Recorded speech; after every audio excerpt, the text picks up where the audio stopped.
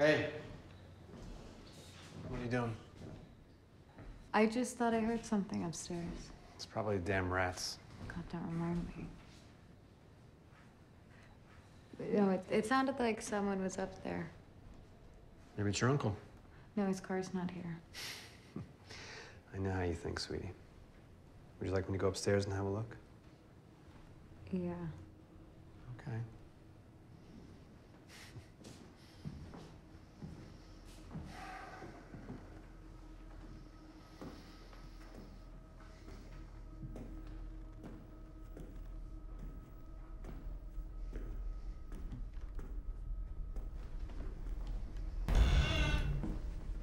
Wait, I'm gonna come with you.